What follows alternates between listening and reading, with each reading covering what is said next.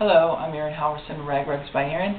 Um, if this is your first time joining me, I welcome you, and if you're a return viewer um, to my other 80-something videos, then I uh, thank you as well for joining me. Um, we're going to be doing the five-strand braid-in rag rug using t-shirt yarn. Um, it is similar to the technique that I used for the oval, but it is a little different, and uh, that is a huge video for me, and I have a lot of people watching it. I've been requested many times to show how to do a circle and a uh, rectangle. I didn't know how to do it, so I had to get my busy mind uh, working on it, so I figured out how to do the rectangle, and I'm going to show it with you. This is the first prototype. It's uh, just kind of little wonky colors, and then this was my second one, um, as you can see, and it isn't finished here and it's uh, I'm going to finish it, so I will show you how to do that. But I wanted to give you a little demo of what it is we're going to be doing, and then um, show you it partway through the technique itself, and then the next part two is actually going to be showing you how to get it started and go into more detail. But this is just an overview really quickly. So what you do is here, this is t-shirt yarn. I show you how to make the t-shirt yarn um, with these loops and to make it thicker and wider because the braid-in rag rug, the Lost Art that I have, uh, another video that shows you how to do the oval, which you may want to view that. Um, you might want to use the other technique for a little bit thinner strips and also um, not doubled over, and that is the how to cut a t-shirt in one long strip. I have a video on that too.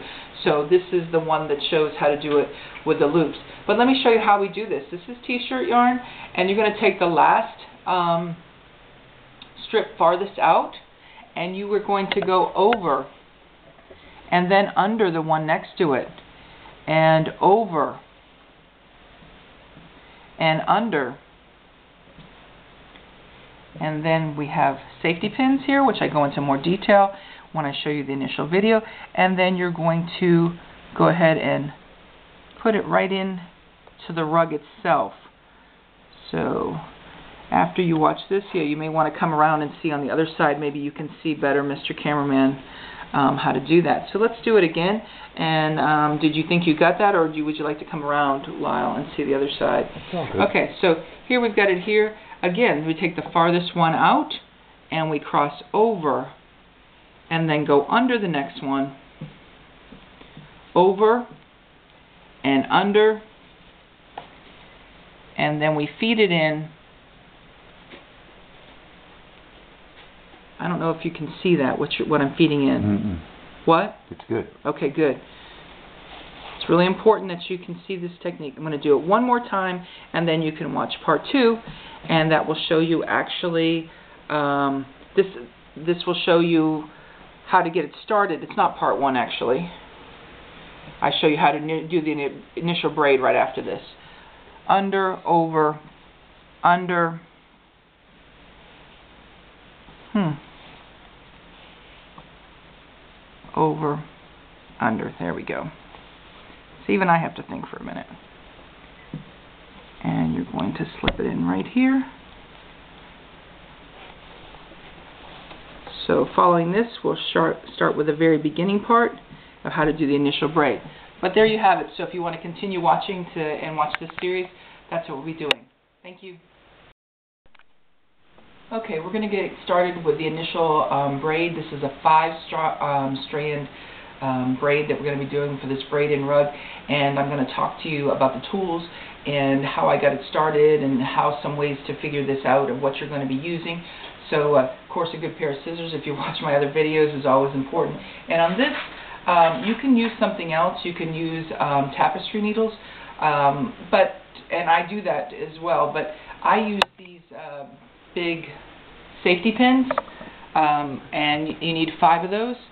So you can use small ones, big ones. I just happen to have uh, big ones because I use them for quilting and other things. So you use what's good for you or what you have around. So this is what we're going to be working on is the initial braid.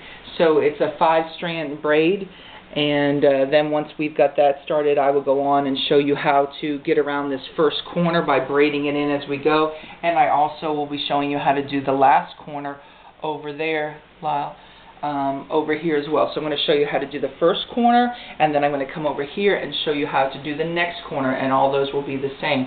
And I'll also make sure I show you how to finish it as well. But this is what we're starting on, is the initial braid. Let's talk about this. These take a lot of t-shirts to do this, and there's no way of me telling. There will always be people that write to me, how many t-shirts does this project take? There's no way for me to tell you. When I showed my uh, t-shirt yarn that you can see, I used a really small t-shirt, uh, a, a small or an extra small t-shirt because I wanted to do it quickly. But I have extra large t-shirts or 2X t-shirts. There's no way of me for telling you how many it's going to take. You know, I would allow 30 um, t-shirts uh, to make one of these rugs, but you may need 60 or 80. It just depends on how big your rug is going to be, how wide you make your strips, and how tight you do your work. Um, this is what we're going to be working on today, and I'm kind of limited in my colors because this is like my sixth rug that I'm working on, so I had to kind of think in my brain, how can I make this look good, and let me talk to you about that because some of you have questions about that too. I'm going to be using two different blacks, um, and I'm going to continue on, so two strands of mine are going to be black and um, because I have quite a few black t-shirts, so there's two strands of that. I don't have much of a green, a yellow type of thing, um, so I want there to be a little bit of spark of color, so these are going to be interspersed together um, as one strand.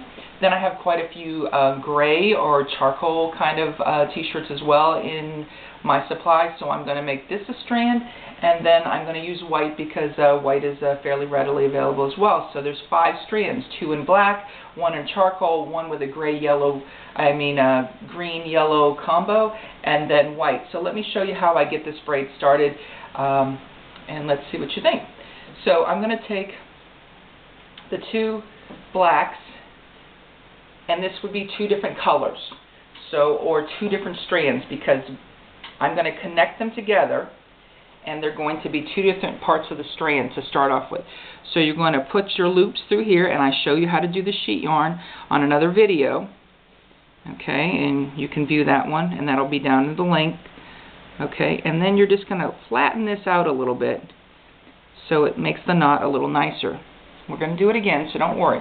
So this is actually going to be hanging like this, and there's two different strands, but I happen to use black, and I thought if I use both black together, it would hide it a little bit better. Okay, and these are going to be my next colors to get the initial braid started. This isn't the only way to do this. I know some of you will write to me, oh, you have a better way to do it. Great, do your better way. Um, this took a lot of prep and a lot of time, and um, I hope that it will be beneficial. And if you come up with some other ideas and you want to share it, that's fine. Um, but let me get you started on this technique. So you loop that in there, and then you have to lay it flat. And see, I try to hide that when I can, the seam, and I just kind of pull it, and see how it just pulls flat, and see now you've got a flatter knot. Okay, so now we have four strands. Okay, and I'm going to go ahead and do one more on this low, this short piece over here because it's going to be fairly short. What you are not going to want to do is you're not going to want to make these strands too long. Some of you will think, hey, I'm so smart, I'm going to do it all together and have this long strand. Well, I thought I was smart too, and not so smart, it just gets a big tangled mess. So that's why uh, making it in one long strip sometimes can be a problem because it's um, more tangling than anything else. Um, the braid-in rug um, one that I have, the Lost Art, has four strands. You could do that with five and using the same technique, and this one happens to, I'm doing it with five. So here you have your four different strands coming down. This is going to be the center, the beginning part. And then what I take is the fifth one. I'm using white because I thought it would show off a lot for you. Um, you're going to kind of, I kind of, instead of putting the knots on top of each other, see how the knots are like this together, I just kind of set them off a little bit so it's not so bulky right there together. I put them, um, they're still overlapping, but the biggest part of the knot is on both sides. Then you're going to take your other color or your other strand. You could do it all one color if you want. There's no reason why you can't. You're going to go through your loop and you're going to pull it.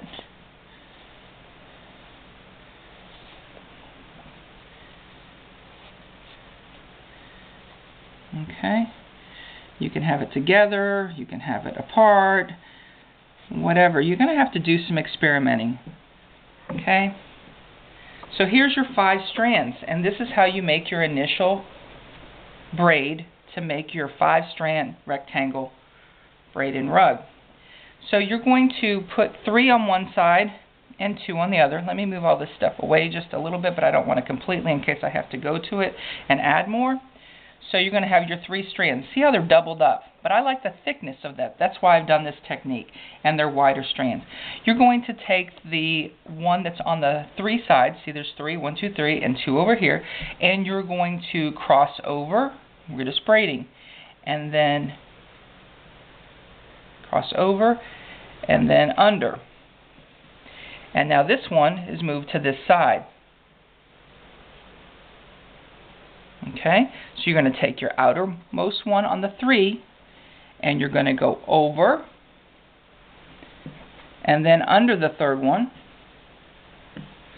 To get it started a little bit at the beginning, because if you have someone to hold it for you, or you know, people say I put it underneath my sewing machine and it clips it and holds it, or I use a a board. That's great. Do whatever works for you. Okay. Trick to this braid and rug and that some of you have problems with my Lost Art round oval rug rather is because you pull it too tight. Please don't pull it too tight. You're going to place it more than pull it. Okay? You're going to cross over. Remember where I got the three strands? Cross over with the outer one and then go under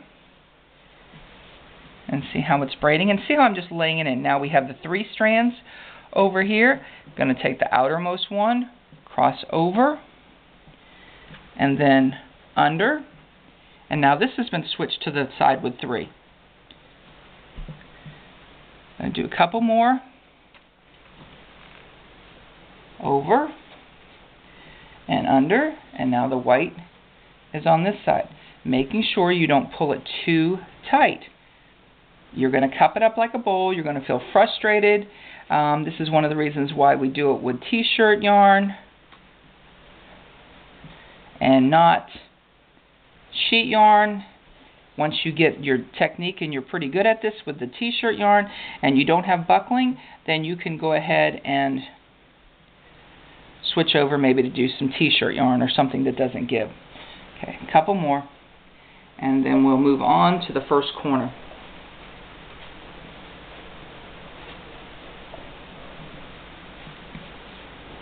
Okay, so see how that's looking? All right, that's how you start your first um, initial braid. Make it as long as you want. Um, I did mine about uh, 28 or 40 to 40 on mine. You can do it the short way, so you're running back and forth like this um, quickly, or you can have it where you're running back in a longer distance and the narrower part will be here. So you're going to have to do some experimenting with that and see how you want your rug to look. Okay, thank you.